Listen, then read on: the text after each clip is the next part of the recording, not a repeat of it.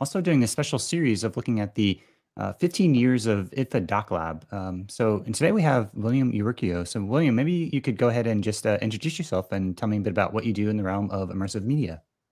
Sure. So I'm a professor at MIT, professor of comparative media studies, and about 10 years ago started uh, MIT's Open Documentary Lab. So it's a lab, in, in a certain way, academic counterpart to the work of IDFA. Um, we look a lot at emerging technologies and what their implications are for the for the work of documentary. And I was going to say documentary storytelling, but that's not quite right because even the notion of storytelling is up for grabs uh, with some of these new technologies. Um, about five years ago, we started the co-creation studio, which looks a lot at methodologies of creation. How do these new technologies um, help us to rethink notions of authorship and agency and making? So we look both at the technology side of emerging media and documentary and at the creative side through these two different labs. Awesome. And, and maybe you could give a bit more context as to your background and your journey into this space. Sure.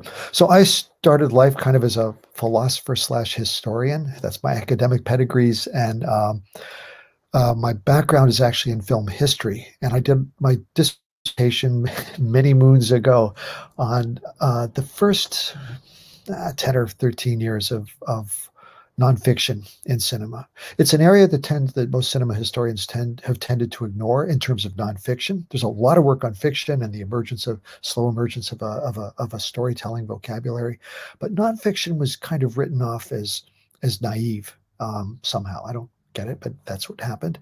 I think it's because a lot of the early uh, nonfiction films, whether of factories or of cities, I focused on cities, tend to just be tracking shots or static shots or a vertical tilt that's the film.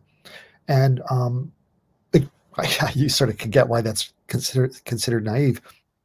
From my perspective, I tried to locate it not so much as the beginning of a new medium, but rather the culmination of a series of earlier media practices. So the panorama, for example, which is akin to the to the pan, or um, naturally uh, um, still photography, whatever. So this the stereoscope with its penetration of depth, um, so a lot of my work was it turned out to in fact be in historical terms very much about emerging media and what they had to do with the ways in which people look at the world why nonfiction is because nonfiction is very often a site of um, i think it's like the r&d lab for the film industry generally for color films for sound films um, first moving camera all that stuff is happening in nonfiction before as, as nonfiction kind of works out the protocols and then the fiction world picks it up. That's my theory anyway. So that's where we are today. A lot of emerging technologies and um, documentary is kind of parsing them, feeling them out.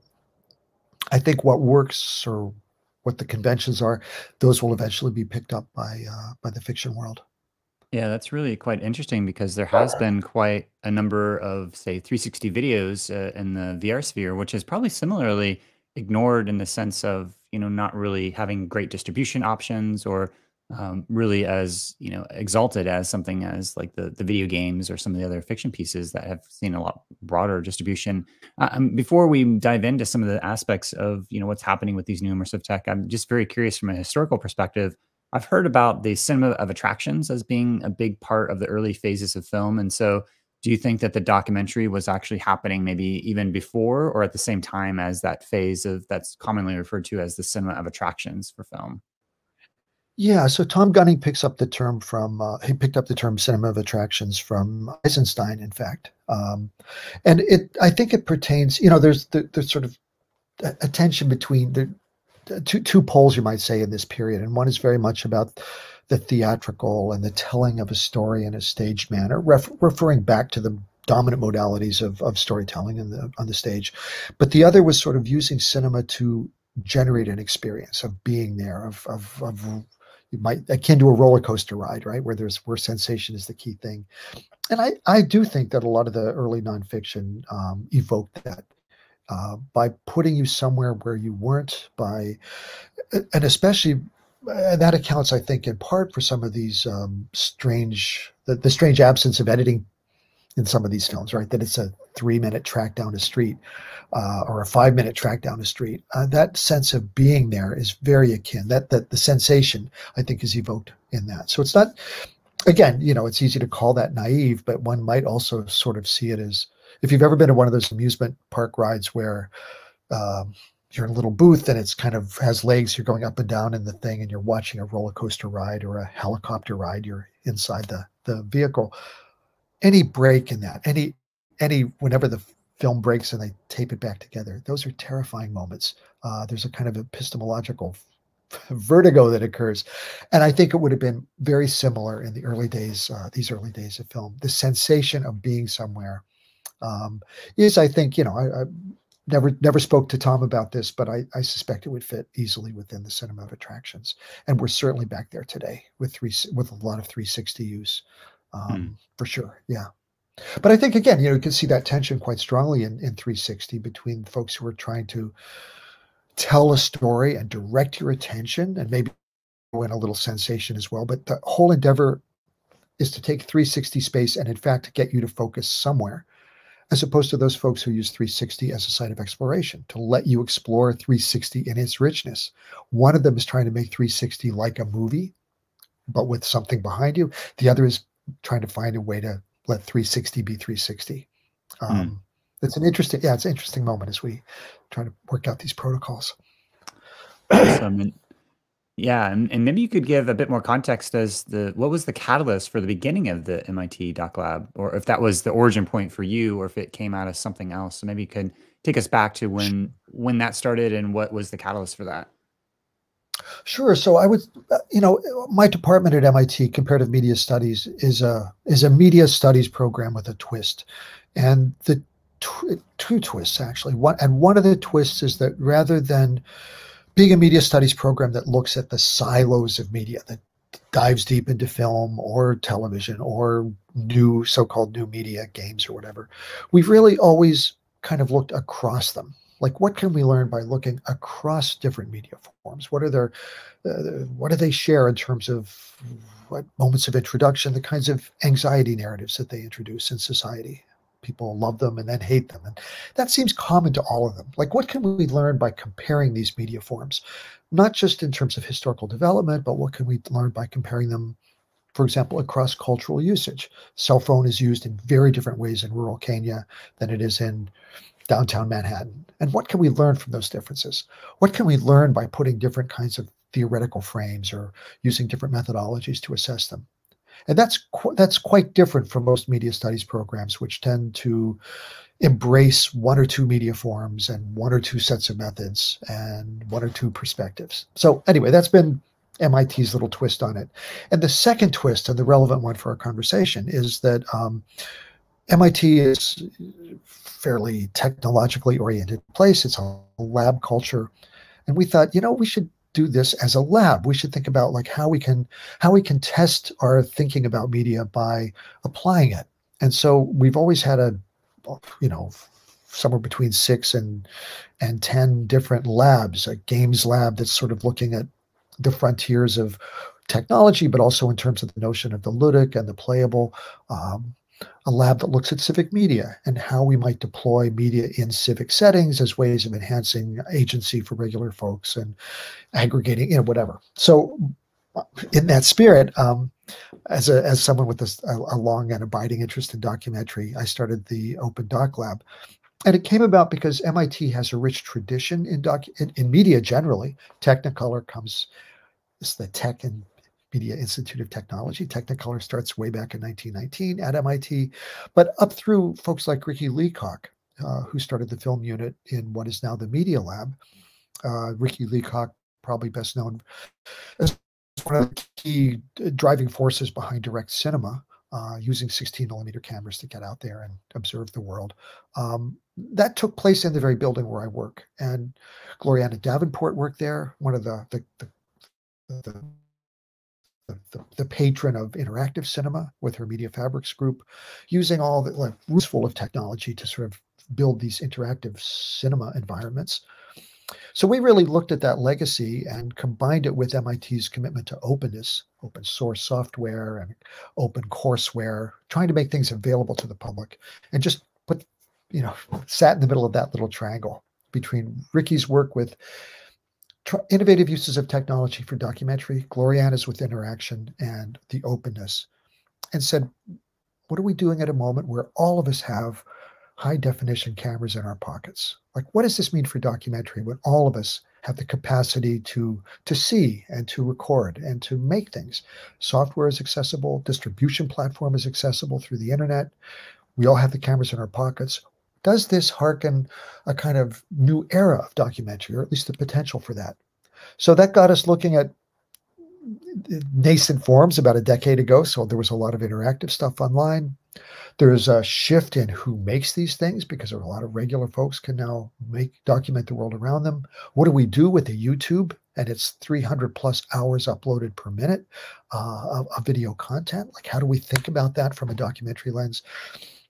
So really, it's been about trying to understand uh, you know, provoked by all these media changes and accessibility and new new kinds of affordance and new kinds of agency, what does it mean for that old project of trying to see the world as the world, trying to represent the real in the world, and trying to get other folks to see it the way that you see it?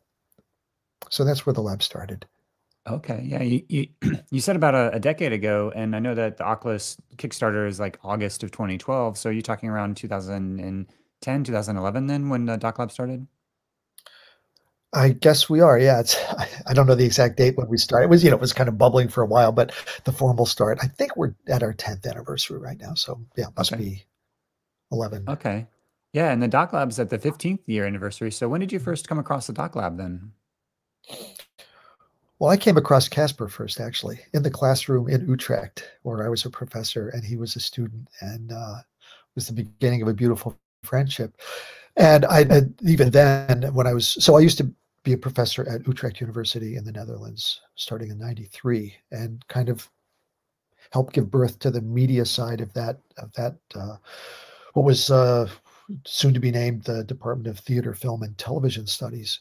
And anyway, as as one of the one of the two media professors in the Netherlands, it was a new, pretty new field in the Netherlands. Um, of course, I knew about IDFA and was soon invited to be on the jury of reg- regular IDFA. Ally Derks and the, the, the women who ran IDFA, in fact, were all from Utrecht University. That was their that was their background. So I knew about that festival, you know, from my from the start of my my my arrival in the Netherlands, um, and was a, I've been a regular there for forever. But the Doc Lab was a really important development. I mean, a really, to my mind, a really crucial development in the. Uh, in the space of thinking about where new technologies meet old traditions, meet meet um, meet established ways of, of of of thinking and seeing. Yeah, so that's right from the start. Yeah, well, with your background in both philosophy and comparative media theory, and you know, looking at the early days of film, and as we start to look at these immersive technologies and what's happening just broadly within documentary across all the media, do you have any like favorite uh, theoretical frameworks that help you orient yourself towards each of these medias? Because you know it's really a combination of of you know video games and theater and film and aspects of the internet and human computer interaction. And so, um, are there any existing books or ways that you've uh, found that help you either understand the affordances of each of those media or um, uh, specifically for each of those media if you're taking insights from those and then kind of adding them to you know this broader xr immersive technologies as we start to try to make sense of this whole space? I mean that's a really good question and a, and a difficult one to answer and i'm i'm going to get off the hook by giving you an analogy. Um, what's the right way to cut open an orange?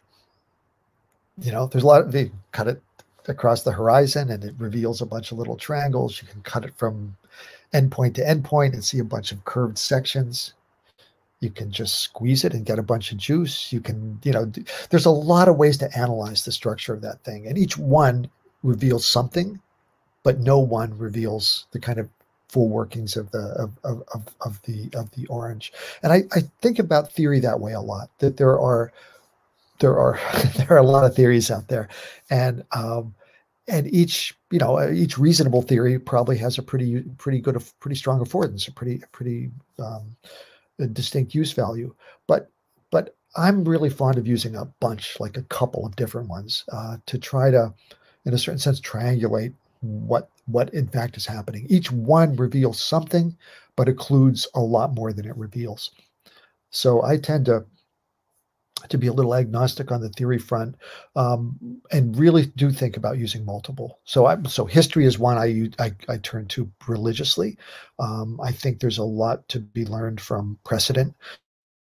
Um, so there are folks who have theorized that. Bolter and Grusin have a notion of remediation where they argue that each new media form is kind of starts off by trying to replicate an earlier media form. Well, that's a useful insight and a, and a very helpful one. Doesn't explain everything, but it's a but it's a great way to to sort of crack it open. Um, so I guess yeah, that would be my answer. That there's uh, that it's more about the number of theories I deploy than which theories and and mm-hmm. and any bunch are always going to yield something kind of interesting in the spaces in between. That said, you know what what's exciting uh, about some of the newer media forms we have. It's something people have said, I think, with the with the introduction of every new media form, but I think there is something a little different with our current ones, and that has to do with their recursive character. There's a way in which um, really the first, you know, if you think of our media regime as something that starts in the 15th century, like Gutenberg's book, but also Three Point Perspective, those those two phenomena are about 30 years apart in the uh, 1430s to 1460s, somewhere in that in that window. Those what those things do is is amplify a difference between the subject and the object, between the speaker and the world, huh? the, the, between the viewer and the world in the case of three point perspective, or in the case of the book, you know, the author and however many copies. It's it's a, very much about an amplifier of the self, and all of our media have done that: radio, television, film, uh, print. Until now, and I think where we are now is there's like a little twist, and it's not always very visible, but the twist in the new stuff is the recursive character that now suddenly, if you think of the way social media work or uh, or the way VR, uh, uh, uh um, um, real time VR works, actually you're we we think we're a subject and we think we see the world, but there's actually something curating what's in between. We don't see everything that people are sending to us on Facebook. We see a mix, and that mix is constantly being curated to extend our length of stay, to ex- to in, in, intensify our engagement. We think we're seeing what's out there, but we're seeing something that's being cooked, and what's being cooked is being cooked somewhere between the needs of the system designer and our own behaviors. And we're seeing that more and more. I think this is a, we're starting to see this. I, I, mean, something like Notes on Blindness, which is a beautiful, a beautiful VR piece. I wasn't aware until I talked to the makers that actually it's responsive to how users use it. If you just put on the headset and sit still, it's a relatively quick experience. If you put on the headset and look around and kind of explore the space, it slows down, slows down the unfolding of the narrative. It takes longer. The system is responding to you, but it's responding to you based on certain assumptions that that movement implies interest. That uh, so anyway, I think that that moment, that recursivity that's starting to occur in new media forms is deeply fascinating and something that uh, has enormous potential for good and for ill, um, uh, as we're starting to learn. But but um, that is different from anything we've seen from the 15th century.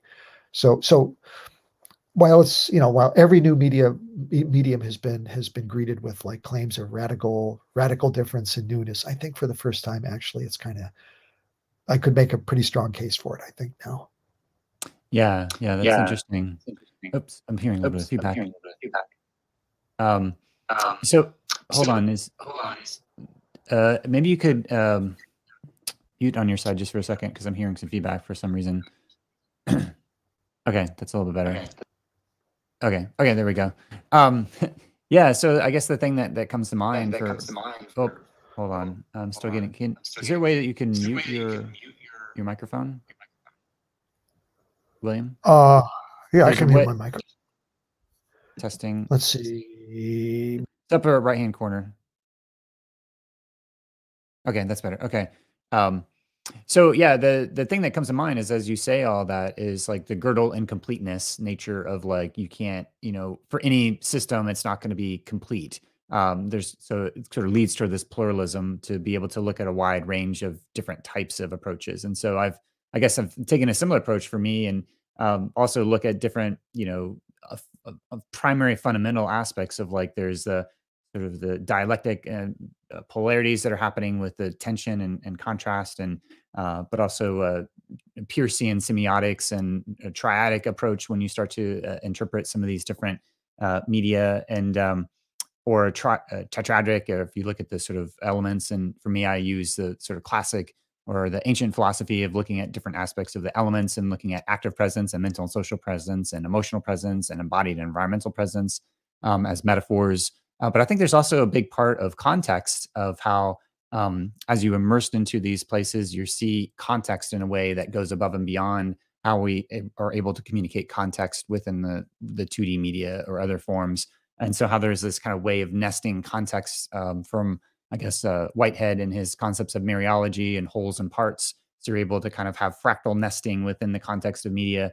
Um, and uh, yeah, I guess as I as I look out, I'm I'm curious for your perspective as you start to look back at some of maybe the the philosophical primitives of if there's other philosophers that have um, talked about certain aspects of whether it's like the Hegelian dialectic of, as applied to perception or um, other other things that you may be looking to in terms of helping to understand um, not only the the human and human consciousness and philosophy of mind, uh, but also relative to uh, the world around you as we talk about media uh, specifically. If you feel like there's uh, looking back into uh, more primitive aspects uh, from other philosophers to see how they might be able to be applied. For me, I, I, get a lot of inspiration from Whitehead and process philosophy, but I'm curious if there's other philosophers or other insights you get when we start to look at you know understanding this media.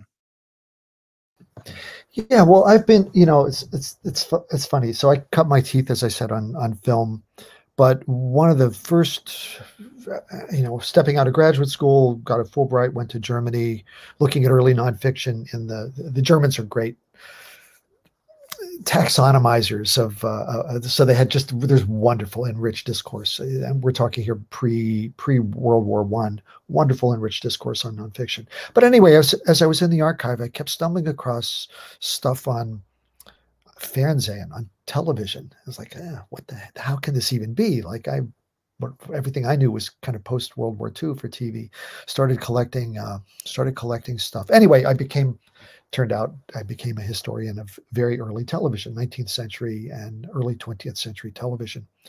And what what really hit me was how both the, the question and the difference. So we often tend to conflate those two technologies a bit. We know one's electronic, but somehow television is just kind of a new distribution system for the cinematic and the film came first we think and actually it didn't tv was first but actually the difference between them clarified the moment I started thinking about the pre-Socratics and and the ways in which someone like um, you know you have Parmenides and his notion of, of of of continuity. And like well what's how does television work? How does pre-digital TV work? It's a scan line. It's a scan line that never stops um, and just goes across the raster but it, it's really a point. Why Rudolf Arnheim doesn't talks about film as art and radio as art, but never talks, even though he writes an essay on TV and a good essay on, on television in 1935, never it never breathes the word art. And it's because it was information poor from his perspective. That little dot not only creates the illusion of an image, but it does it fast enough and often enough that it creates the illusion of the moving image, Whereas at least film starts with an image before it plays the trick on you. So it was information thin, but from my perspective, like, hey, this is Parmenides, like this is flow, pure flow. And if you think of Democritus and the atomists, well, what's film? Like it's it's proof that it works, right? It's this series of little atom atoms, these little these little images that are all still, but coming at you fast enough create the illusion of something actually there and moving, like just as atoms for all their dynamism and whatever create the illusion of solidity and and presence. So that that's always struck that was a very clarifying moment for me kind of thinking about these two pre-socratic traditions that just hit on the head kind of the fundamental difference between those two media forms. Um, i'm a hegelian at heart i will admit with a soft spot for for Peirce and triads you know tingle my soul. So anything i can do to kind of jump between two positions and find a third way out is something I I I, mm. I think I do as just a default way of thinking. That's that's for sure. Yeah, I know that uh, Hegel's approach towards history of, of looking at the you know dialectics and the thesis, antithesis, and synthesis, I think has been also a really helpful way of also thinking about um, these things. And as we come into the synthesis of whatever these immersive technologies are, I'm, I'm curious if we can maybe turn to um, you know that process of you know as we've looked at this you know evolution of the media. I think Doc Lab has been you know a key part of you know both featuring different works but also creating and cultivating a community for those creators to be able to interact with each other and to have a platform for experimentation that I think has been a pretty key part of the of this you know area as well. And I'm curious at what point you decided to take the next step with Doc Lab to be able to to form this uh, additional partnership and maybe you could just speak more about that and what was the catalyst for that coming about yeah. So so so a just to amplify what you said. I mean, I think it's so so right that what makes what makes IDFA's Doc Lab so special is um, that it, it, was not it was never just a showcase for for new projects. It it does that, of course, but it's always been about the community and and the conversation, and that's something I really loved about it. And it's funny to watch like in the wake. It's that's 15 years, but let's say in the last five or so years, there there have been a flurry of uh, festivals starting labs and starting, you know, kind of formalizing the stuff that that was organic and intrinsic to IDFA's Doc Lab from the get-go. That community part, that in a way, that research part, drawing folks together to kind of think about pr- the process and practice and technique. That's been really valuable.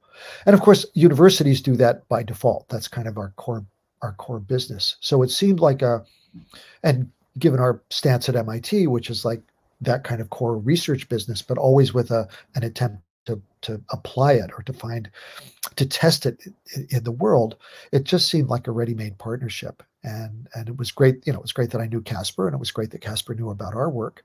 Uh, i knew about his work and it just it just was a hand and glove kind of fit. It it, it really worked well.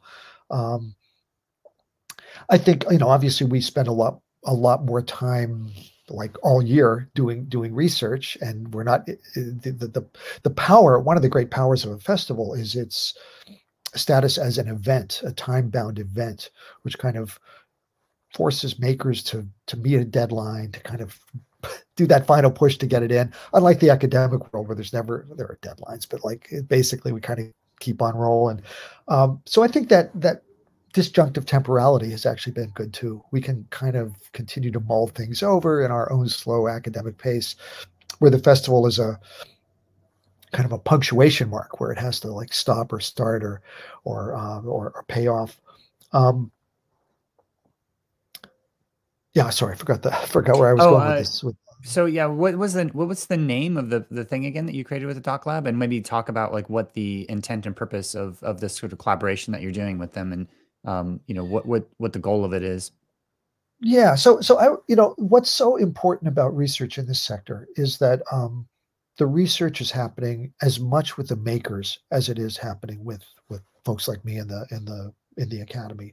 And i say this like and i i think back to um, lev kuleshov and you know the experiment we all know the the the um, experiment where he he uh, uh, Pudovkin says this. I don't know. I don't know if I only know it through Pudovkin, who says you know he intercuts this footage of a of a face with a with a uh, with a with a coffin and a face with an empty cupboard and a face with a girl, and the face is always the same face, the same actor's face, uh, the same non-expressive face, and people read this and scribe emotion to it. This is the the birth in a way of the the theories of montage.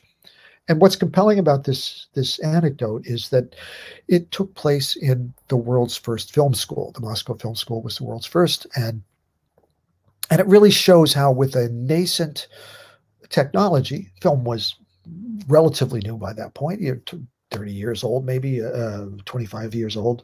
Um, it was this. These are some of the first systematic steps to instead of copying what was happening on the film stage or doing what photographic or stereoscopic practice were doing with the street scenes that I looked at so much. This was really an endeavor to experiment with the medium, a new medium, and to try to invent and find um, a language for it and a set of a set of a set of uh, explore its capacities and come up with kind of some some practices. So I really I really take that to heart, and I think a lot of our work with uh, with Open Doc Lab uh, sorry, with uh, a lot of our work with IDFA Doc Lab, our work at the Open Doc Lab has been really about that, about looking at this new stuff and saying, well, what what kind of taxonomy are we going to use? Are we going to use a language that derives from like film and television? Is that the are those the right concepts to use, or should we take concepts from from computer science? Should we take concepts from immersive theater? What what descriptors, what categories, what language should we even use? That's a that's a fairly important question. And and of course, as these things these things are also nascent, that they're inscribed with all of those languages and all of those concepts, depending on which reviewer you read or which essay you read. So our job has to been has been to kind of reflect on that and figure out is there a what are the affordances of each of these approaches? Um, you know, the, the problem shows up in a very tangible way with like, well, how do you fund something that's really new, like a, a new technique or a new technology? Does that fit into the film funding? You know, there's always these guidelines and boxes when when money is at stake. Well, is it a film or is it television or is it theater? Well, actually, it's something else. Well, we don't have a box for something else, you know, unless it's the new media art. Uh, is it new media art? And of course, that's drives a lot of people into that discursive domain to try to get the funding to continue the work. But it's something that's really important because why those boxes are there is because they have well-established criteria, right? There's there's there's a value, there's a, ways of assessing whether something is good or not so good, interesting or not so interesting. But in a box called the new, there's not a lot of there's not a lot of criteria. So funders tend to shy away from it.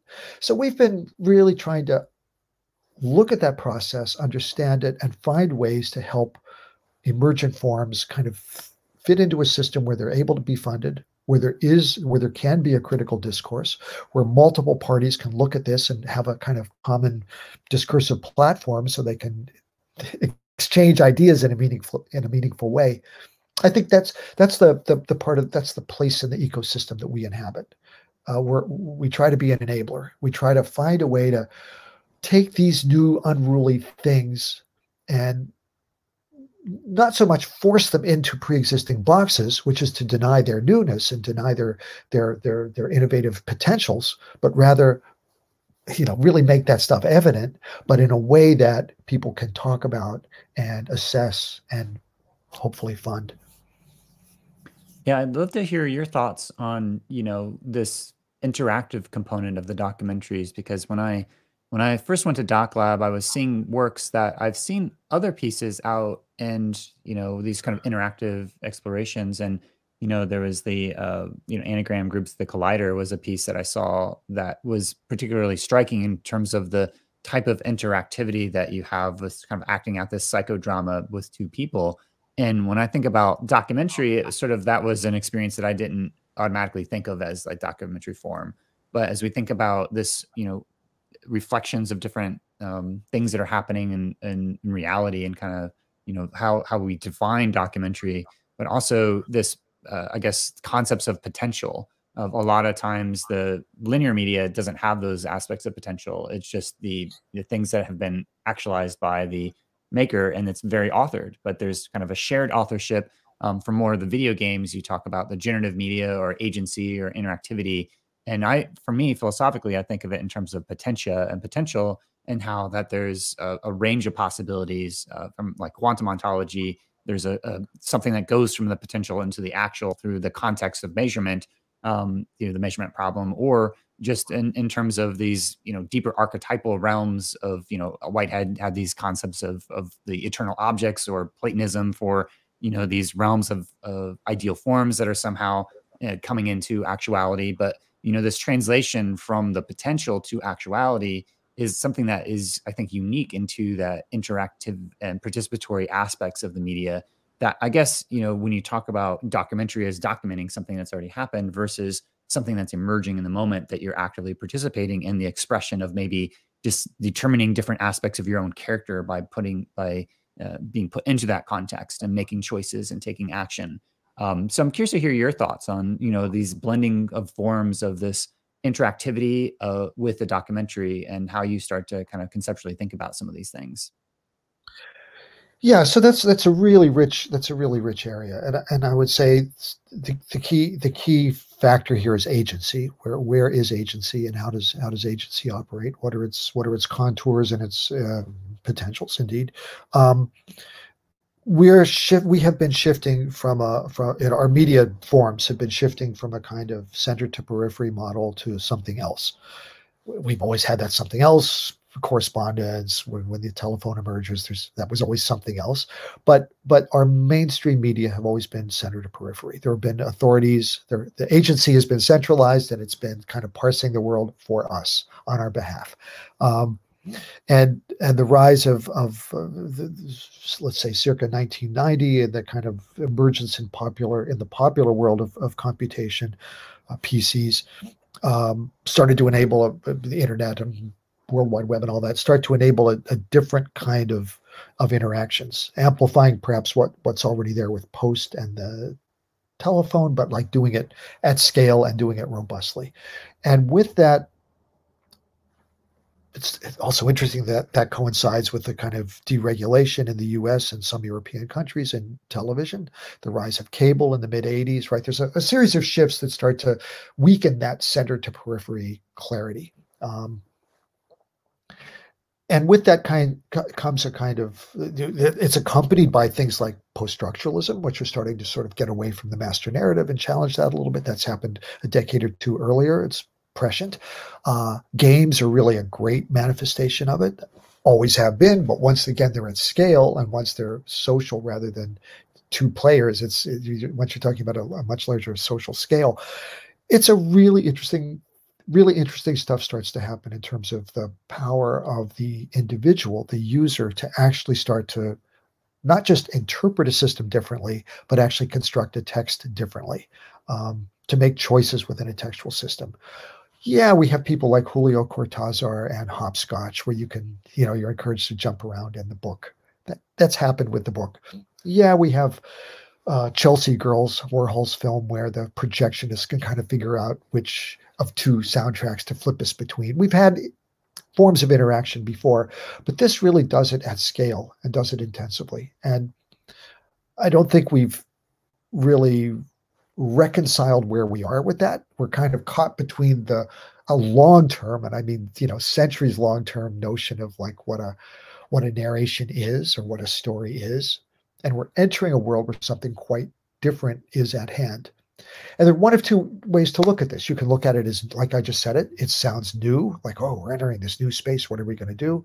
Or you can kind of reassess where we've been and say, actually, we've always had some of these other forms. So, so a, a, a example I would I've, used in, in, stuff I've written is um, Disney. You know, Disney is is is the Disney company and the Disney project is a really interesting one. Really early proponents of transmedia, for example. Mickey is on the screen, but Mickey's on records and Mickey's in comic books. And, you know, th- that was happening, I don't know, 40s, maybe 30s. It, it happened, it's been happening for a while. But maybe more interesting from like where we are today with a, a, a technology like VR or interactive, you can buy Bambi and you have a linear, traditional story beginnings and ends, and you have to read it more or less in sequence. Or you can go to Disneyland and you can wander down any path you want. You can go left, I can go right. We're all going to come out with a Disney branded experience. We're all going to put together a series of experiential dots and have our story to tell at the end of the day around the campfire. Uh, but it's completely interactive and it's completely immersive. And it's completely different for all of us. And yet we come out with a lot of the same messaging and branding. And that space to me is very akin to what one might find in an interactive uh, online project or a, a 360 immersive uh, experience where you can be looking one way and I can look the other. And yet at the end of the day, we we're kind of assembling a world.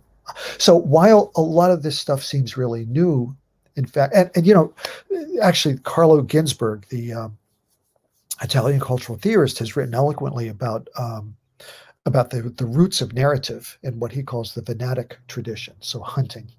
The hunter goes through a world and sees sees bits of fur and footprints and can construct a whole narrative from that, right? This is an aging female that's on its way for water or whatever. And um, and he, he says he, he qualifies it and says it's a very daring hypothesis but i think yeah it's a very useful hypothesis to, to, to think about in terms of where we are with this in this so-called new world of interactivity. It's always been there. It's just differently technologized. Uh, but it helps us to sort of step away from the the dominance of of that center to periphery fixed uh, textual system that our cultures have sort of thrived on for hundreds of years and kind of reassess what's kind of always been there in the cracks and underneath. It's, you know, we do a lot of work in my lab, but in the co creation studio, it's what it's all about. Co creation seems like something that's kind of new and emergent, but it's deeply embedded in our culture. It gets overwritten with the rise of copyright and the rise of the author that coincides with, you know, the, the, the 18th century, 17th, late 17th century invention of authorship as intellectual property. We need the author in order to protect but look back at Rembrandt or, or you know, look uh, Rodin. These are always collaborative efforts. These are studio efforts that get branded under one name, and for legal reasons, ultimately, for financial reasons. So, looking at something like co-creation today allows us to look back through the past and discover actually it's always been there.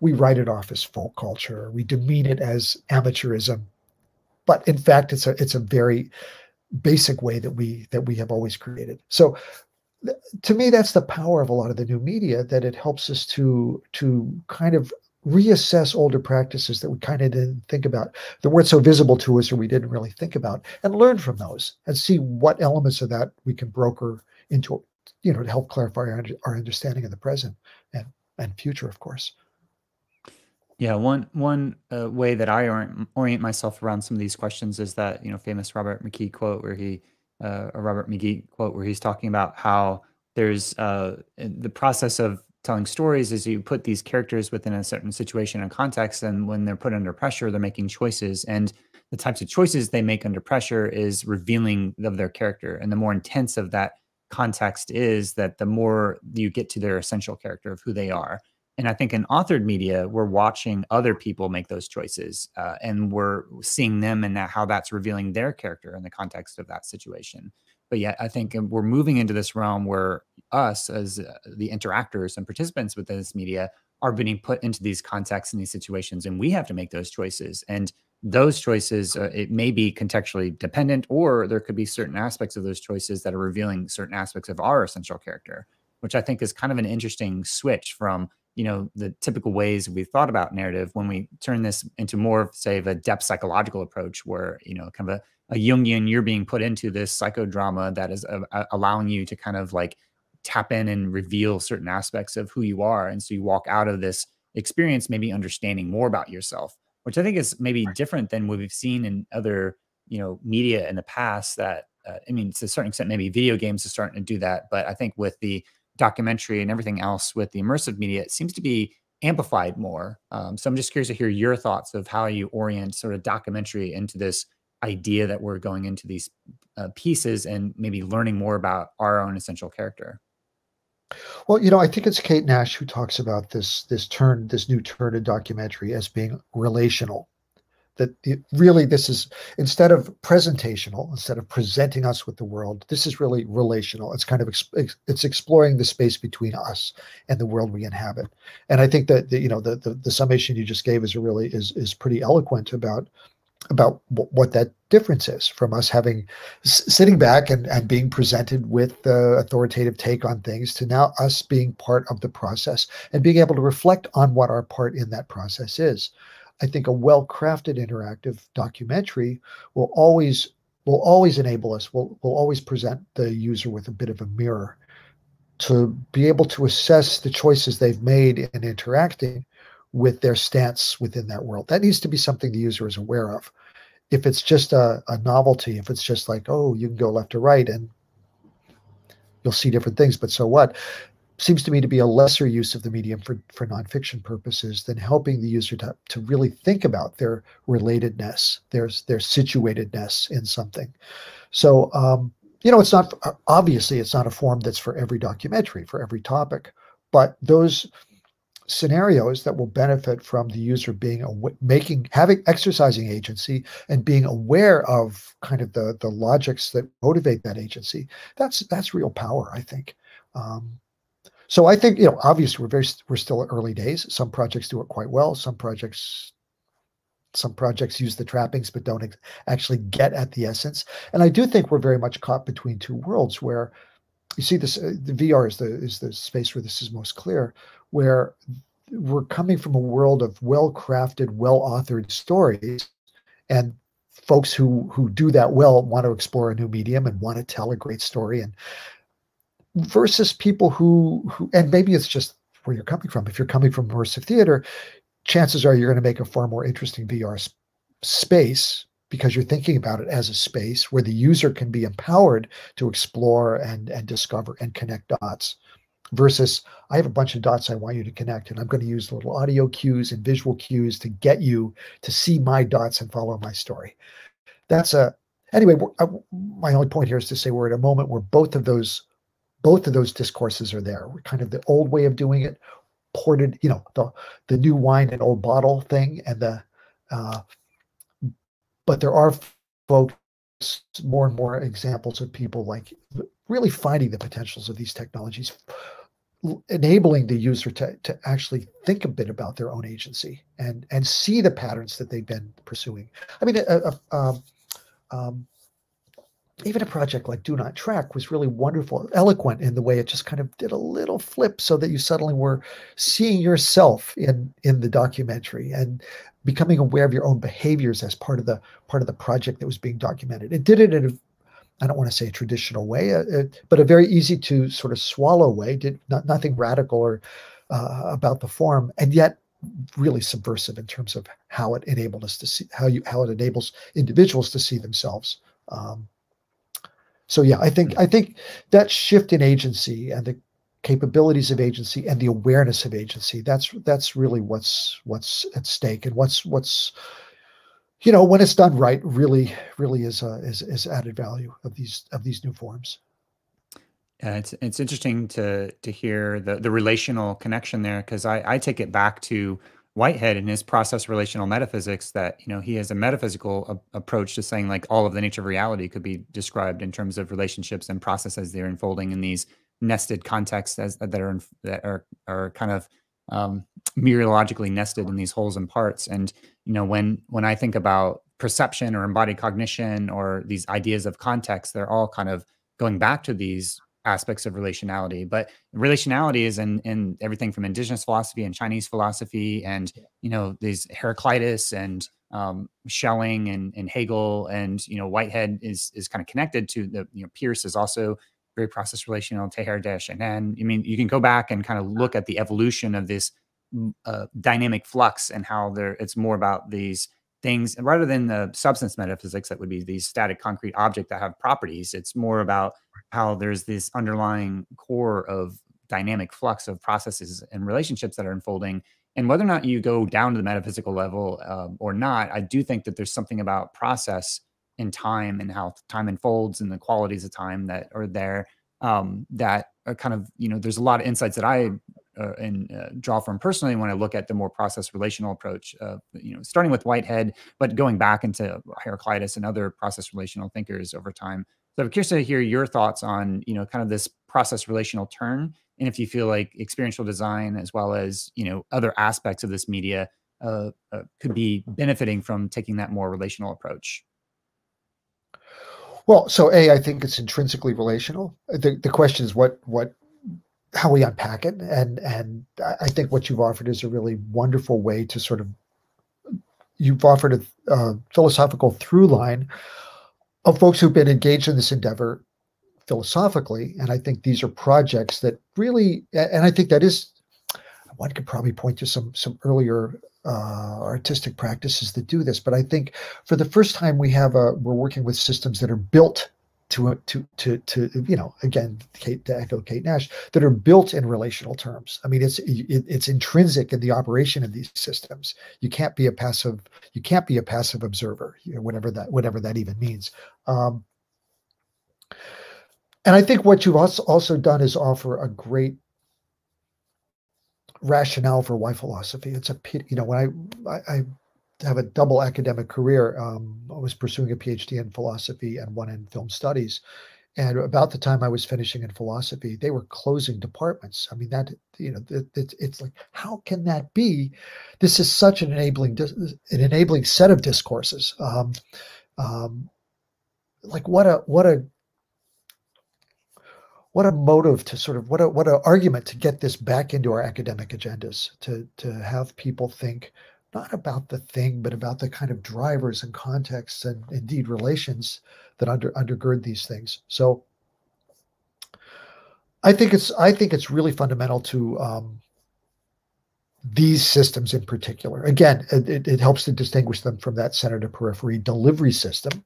It's something you know. It's something that um, in a more sociological way, someone like uh, James Carey, uh, professor of journalism at Columbia, when he was alive, uh, has written about in this what he saw as a the side of communication that so communication tends to be talked about as transmission so it's very much that kind of object artifact side of things getting a message from point a to point b. Indeed they embrace engineering shannon weaver model. This comes from telephone engineering. Let's get the packet from here to there. Where's the noise? And let's mitigate the noise you know. And carey says well whoa whoa whoa there's another side to this and that side is ritual and ritual is actually not just that the sports is always on the last page or the weather is always at the end of the newscast because there will be a tomorrow, no matter how dismal the news. It's not just those packeting formats. It's um, ritual is is what we do with this stuff that we talk about in coffee machine that we start our day with it that we share information with one another that we combine i read the times you read the guardian and we combine our stories to try to figure out with one another what's happening it's the social lived relational side of of the communication process and just as you know, as if we needed evidence that this is the case, um, that this is really important, and in fact, more important than ever now that our technologies uh, require it. Um, again, a thing I've written about, but it's it's such a vivid illustration. In 2014, Bezos buys the Washington Post, and the Post is really worth something like 60 million of, of a 250 million dollar deal. The Post itself, the best content packet that gets transmitted from point A to point B is worth 60 million. And Zuckerberg buys WhatsApp the same year for 19 billion with a B. And what's WhatsApp? Well, it's relations, but there's like no content. It's just like a network of potentials of it's relational. It's purely relational and with nothing else. And it's worth 19. So that just, you know, just says as, as, as loud and clear as you can say it that we have entered a domain we have entered a, a, a technological moment where the relational is the thing that has value. And okay, that's not that we should throw away the content at all. It's not to say it's an either or, but it is to say this is a side we really have to think about. And it needs it needs to be under and, and we don't quite. I mean, I think you've offered a great way to kind of locate it philosophically as part of a, a long-term endeavor to think to think about the relational. But we don't i don't think we I don't understand what socially speaking yet. Just looking at the kind of kind of odd odd patterns across the world not just i mean the us we have a lot of stories we could tell but you could go to the philippines or turkey or you know pick pick your country hungary and and and very similar phenomena are occurring which which point to a i don't think we've yet figured out how to manage this relational uh, these new relational dynamics required and yet not fully understood mm. of our new media systems. Yeah, for sure. We're in a networked era, that's for sure. Um, well, just to kind of wrap things up, I'm curious what you think the ultimate potential of all these, you know, immersive storytelling technologies might be, and what they might be able to enable. Well, I'll tell you where I think we're headed with these with these story uh, systems. I think we're, you know, we've seen like two extremes. We've seen the the sort of long term, like fixed the linear fixed story and we're fine we're, we through interactivity we're in a space of pick and choose and like find our way uh, uh, deploy our agency hopefully even reflect upon our agency in the process what i see emerging fast is um, is a third way that's not necessarily a good way but a third way and that is um, recursive narrative systems that that basically do what what Google already does, but do it in a narrative way, which is to say, track our past behaviors. Kind of, we we know what your likes and dislikes are. We know what you tend to do. watch our watch our biometrics, track our biometrics, and path us through a story accordingly. So take an interactive story world, a branch narrative, Bandersnatch, the the Black Mirror episode. Take that thing with its one so, supposed one trillion various options, and the system will watch us and track us through based on where our eyes, where we're looking, what, what our pupillary dilation is like, uh, what our EEG, whatever the biosensors are, path us through that. So experientially, we're getting a linear narrative, a fixed linear narrative, but in fact, one that's so-called made to measure. But that made to measure is both something that we've contributed and something the system has contributed.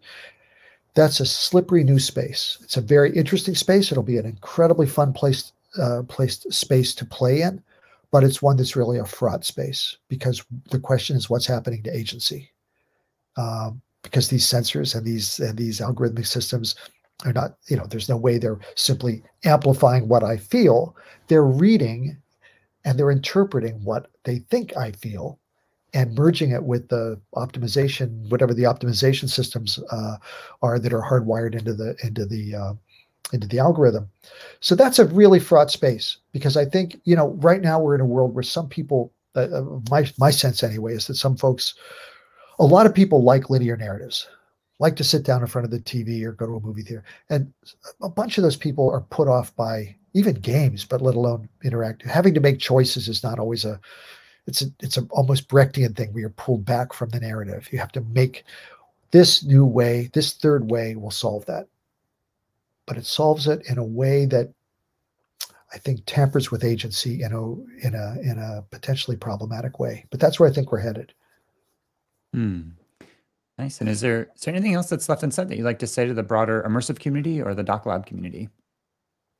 congratulations on 15 fantastic years and can't wait to can't wait to see what the next 15 bring um, no it's it's just been a joy it's been a a thought leader in the sector and uh, i can't wait to see what next year brings if we can really be together in person uh, in amsterdam Awesome. Well, William, some, uh, thank you so much for for joining us today to be able to kind of unpack not only your journey into this space and kind of reflecting on the past. There's this uh, Kierkegaard quote that talks about how you know the life can only be understood by looking backwards, but it has to be lived forwards. So I like that kind of idea of you know understanding the historical context that allows us to sort of understand you know where we might be going in the future. So um, yeah, just thanks for for coming on and uh, sharing both these kind of uh, pointers to different theoretical perspectives and kind of reflecting on the different philosophical implications of it all. And uh, yeah, thanks for uh, for joining us today on the podcast. Kent, thank you very much. Bye bye.